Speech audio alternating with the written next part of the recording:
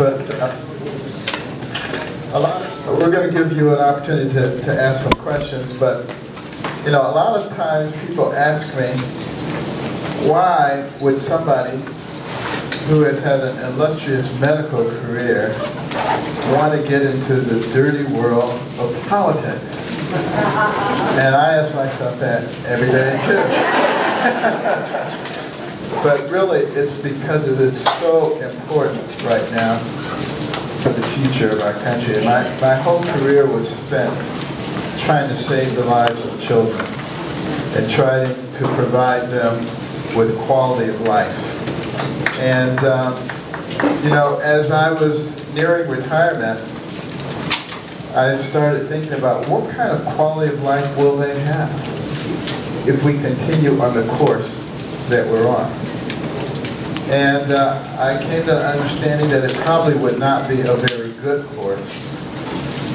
You know, uh, in 2013, when I was asked to speak at the National Prayer Breakfast, I was uh, kind of surprised that they asked me to do that, having done it before in 1997. But that really kind of changed my life because my retirement had to be put on hold after that because there were so many people clamoring for me to run for president, which I thought was a ridiculous idea. Uh, and I just said, well, this will this will die down, but it didn't, and it kept building. And uh, telling particularly elderly people, telling me that before they heard me, they had given up on America, and they were just waiting to die. I heard that from so many different places. And it really, here, and then a lot, this thing is not very good. but, uh, you know, a lot of young, younger people were also very concerned about what was going to happen to their children and to their grandchildren. And uh, that saddens me as well. But I finally just said to the good Lord, you know, all the pundits say that this is impossible. It's impossible for a political novice to run president. You can't do it. You have no political organization. You can't put together a nationwide infrastructure. You can't raise adequate money. You're not connected to the money. It's just not going to happen. It's not even worth talking about. So actually, it kind of comforted me to hear all that. I said, well, great, then I won't have to worry about it. Uh, but I said, Lord, if you really want me to do this, you know, you know that it's virtually impossible, as they all say. But if you open the doors, I will walk through them. And um, he opened the doors. You know, uh, we were able to put together an incredible team nationally. And, uh, you know, I absolutely refuse to bootleg billionaires and special interest groups to get their money. I, I won't do that.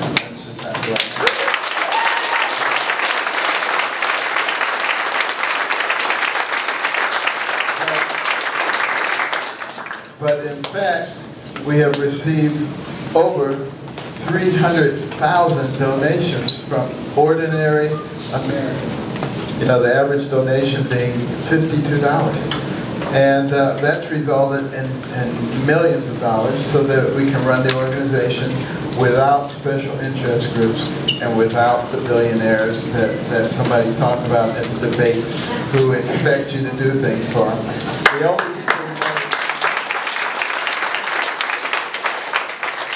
the way the system was supposed to work is that there would only be one special interest group and that would be the American people. That's the special interest that we all be taken care of. And the government also must once again be reminded that the government works for the people. The people don't work for the government. And somehow we've managed to get that all turned around. You know, it was Thomas Jefferson who predicted that we would end up in this situation uh, with this horrible microphone. That's what he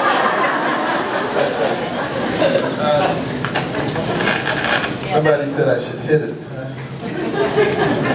You better watch that person. Okay. now, um, he said that the, the people of America would become less vigilant. And uh, they would not be paying attention.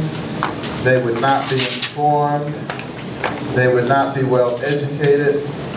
They would be more interested in the football game and who's on Dancing with the Stars. Now he didn't use those two examples, but, but you get the point. And he said, as a result of that, the government would just grow and grow infiltrate every aspect of our lives and begin to control every aspect of our lives. But he said, before we turned into another form of government, the American people would awaken and they would regain control of the government.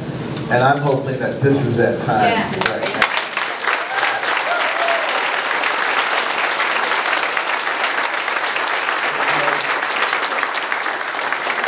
I'm afraid that if, it, if, it, if we don't wake up now, and we get another progressive person in there, who gets two or three Supreme Court picks, we're toast. And if we get somebody else in there who doesn't understand fiscal policy and continues to drive our debt, our foundation will collapse. And if we get somebody in there who thinks that ISIS and the radical jihadists are JV and are people that we don't have to worry about, we're toast. So this is, yeah, I know you've heard it before, that this is a critical election, but I believe this is the most critical election. And really, we're in the same kind of battle that they were in in the pre-revolutionary days. And the consequences for us are equally as dire. So we really are going to have to become extremely serious about this. Recognizing, for instance, that one of the things that threatens to destroy us is divisiveness. Extreme divisiveness on everything, and dishonesty and lying.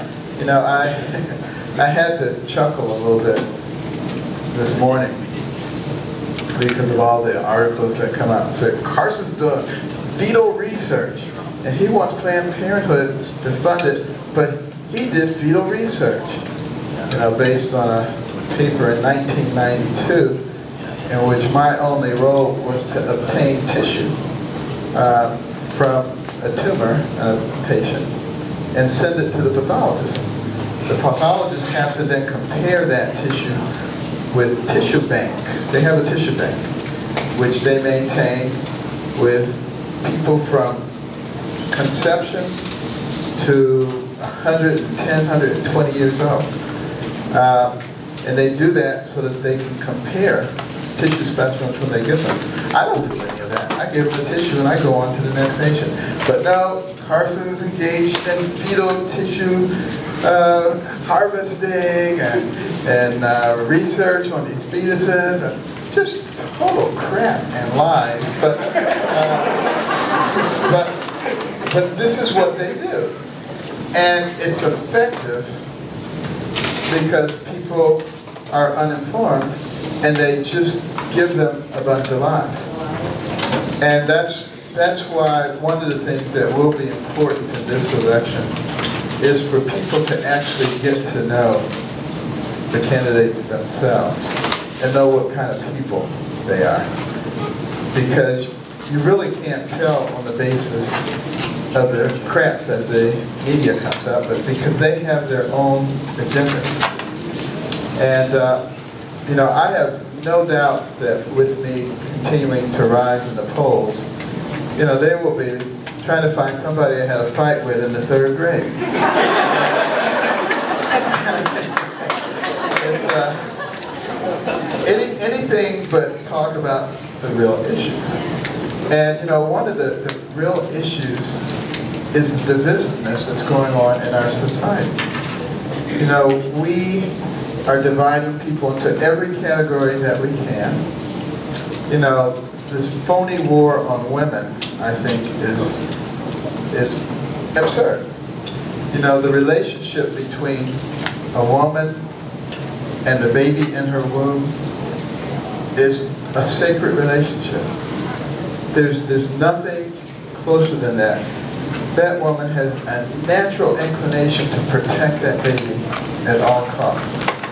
I believe that's why God did it that way, rather than have them grow on a plant or something, and you had to water the plant. No. Uh, it's the safest place can possibly be. But we have reached a point in our society where people try to make you feel that that baby is the enemy of that mother. And that she has a right to kill it. And anybody who disagrees is engaged in a war on women. Now think about how distorted that thing is. A human being just kill it and not think about it. And yet, some of those very same people will march and protest and do everything imaginable because there's somebody building a road in an area where a snail darter might die. A snail darter who's considerably less complex physiologically than the baby in that mother's womb. Now think how asinine that is. I was talking to the head of the ACLU, and uh, he was actually giving a talk. We were in another country. He was talking about how the ACLU is this wonderful, wonderful organization that speaks for people who cannot speak for themselves. And uh, I said, well, a woman came to me, she was 33 weeks pregnant, and uh, you know, the baby had hydrocephalus, so she was actually on her way. She had been counseled to go to Kansas to get an abortion. 33 weeks. That means that baby was viable outside of the womb without a respirator. But she stopped to see me before she went there, and fortunately I talked her out of it. And uh, she delivered the baby, we did an operation, and the baby's fine, she's delighted that she didn't abort that baby. But I asked him, I said, uh, would you speak for that baby? That's a, that's a human being who has no one who can speak for it. Would you speak up for the rights of that baby? And he hemmed and hawed and just couldn't come up with an answer. Later on that evening, at dinner, he sat next to me. and said, let me make it easy for you. In the neonatal intensive care unit, we have a lot of babies that are a lot younger than 33 weeks. 24, 25, 26, 27 weeks on an incubator, getting maximum support. How about that baby? Could you advocate for that baby? Oh yeah, absolutely, no problem. I said, but the one that's 33 weeks, much further along developmentally, you can't advocate for. it. He says, well, I know that doesn't make any sense. He says, but I actually believe that the mother has the right to kill that baby until the second it is born. And I said, would you say that in public? And he said, no. But, you know, that's the kind of mentality that we're actually dealing with. But worse than that, or just equally as bad, is the fact that you have people who try to make people on different sides of that argument into bitter enemies who want to destroy each other. That's where the problem lies. And anytime there's a racial incident with people of two races, it's got to be a new race war. There's racism rampant throughout our society. We're going to destroy ourselves with all this racism. The fact of the matter is, you're going to have conflicts when there are people. Whether they're the same race or whether they're of different races. You're still going to have conflicts because people have conflicts with other people. And what we need to do instead, particularly you know, with regard to you know, the whole issue of Black Lives Matter, which has been you know, made very uh, prominent throughout the nation. I don't, I've never met anybody who didn't think Black Lives Matter. But what we really need to be talking about is adding a word to that phrase the word all. All Black Lives Matter. Because in our major cities, inner cities, the number one cause of death for a young black man is homicide. And the vast majority of those homicides occur at the hands of other young black men, not at the hands of the police. And the number one cause of death in the black community is abortion. So, do those lives matter? Yes. Should we be talking about maybe all rather than just some?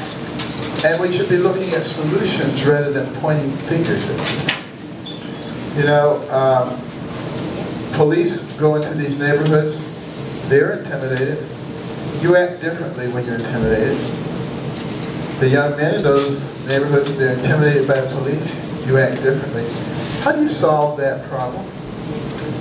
I think you have to introduce the police into those neighborhoods early and they have to be known. You know, like they used to have beat cops. And the people knew the police, and the police knew the people. So that little Johnny's first encounter with the police is somebody who's friendly. Somebody who's playing ball with them. Yeah. Somebody who's doing something that he knows personally. And, uh, and that policeman also knows the people in that neighborhood. I was talking to a policeman recently in Baltimore. And, uh, you know, he, he frequents a particular neighborhood. He says he knows everybody there. They all love him. He says he never has to worry about lunch or dinner. People are always inviting him in for lunch and dinner. You know, and, you know, that's what happens when people get to know each other. And they get to know each other as human beings, as relationships develop.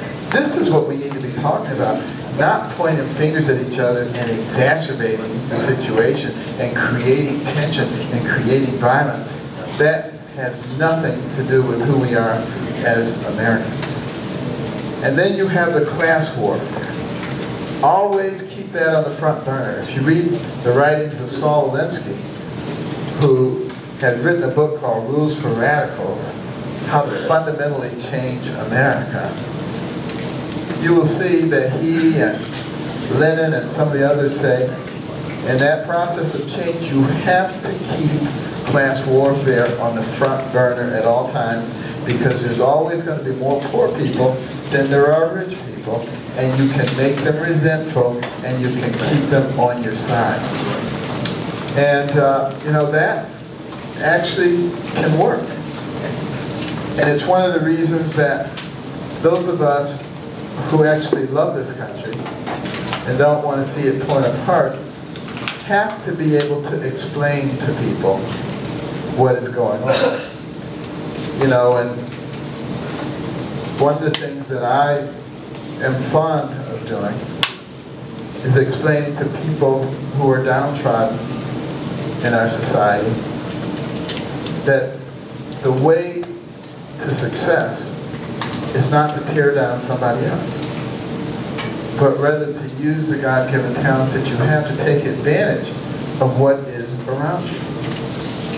You know, you take, for instance, the proposal that I've made for income, income tax. I like the flat tax, I do, or a proportional tax, I do. I think that it is very fair, because God thought it was fair. And it seems to me like he's a pretty fair guy. You know, he said, I want a tithe. He didn't say, if you have a bumper crop, you owe me triple time. He didn't say, if your crops fail, you owe me nothing. Therefore, if, he thinks proportional taxation or tithing is fair, I don't think I can do better than that. You make $10 billion a year, you pay a billion. You make $10 a year, you pay one. You get the same rights and privileges. You, you get rid of all the deductions and all the loopholes so that you're revenue neutral. And uh, some people would say, well, that's not fair. Because the guy who put in a billion, he's still got nine billion left. That's not right. We need to take his money. We need to take more of his money. You know what that's called, don't you? Socialism. That's what it's called. And uh, the problem with that is next year, He doesn't have a, a billion because he doesn't have the 10 billion because you're trying to take all his money. So not only do you not get as much money in your pot, but also now he's taking his money, he's trying to go somewhere with it and hide it. That's not helpful. The thing that got America to the pinnacle so fast was we had a different attitude. We said, that guy just put a billion dollars in the pot. Let's create an environment economically that will allow him to be even more successful next year so he can make 20 billion and put $2 billion in the pot. That's how we grew so fast. And now we're not doing that. And we have to, once again, get that economic engine rolling again and let it expand, let that tide rise. Now, on the other end of the spectrum, there are those who say, well, the guy who made $10, he can't afford to put a dollar in. Of course he can. Can he afford to drive on public highways? Can his kids go to public school? Yes, he can afford to pay his share. And it's not a very big share, but it's a proportional share. I think that's why God did it that way. And having grown up in dire poverty, I can tell you a lot of people who live in poverty actually have pride. They don't want you to pat them on the head and say, there, there, you poor little thing, I'm taking care of all your needs. What they would rather you do is fix the economy so they can get a good job and move up the ladder and become part of the fabric of America. That's what we have to begin to concentrate on. Also, if you exempt a certain portion of the population from paying taxes, then they don't have skin in the game. But, you know, it's much harder for politicians to engage in their favorite activity, raising taxes, when everybody is involved. You know, if you can just involve 1%, 2%, or 5%, it's easy. But if it's 100%, you got to explain to 100% of the people why you're raising their taxes. You're probably not going to raise their taxes. That's what you have to think about. And, and that's why our system works best when we treat everybody the same. When we start having special people,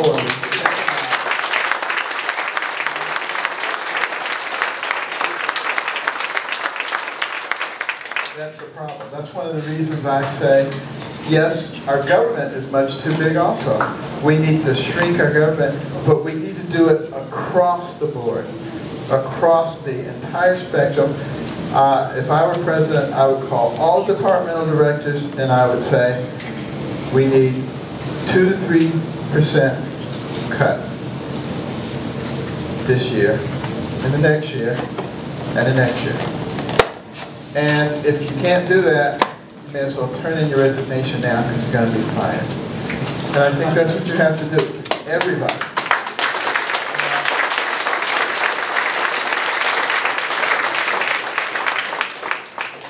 Make only one exception because it's already been cut so severely, and that's the military.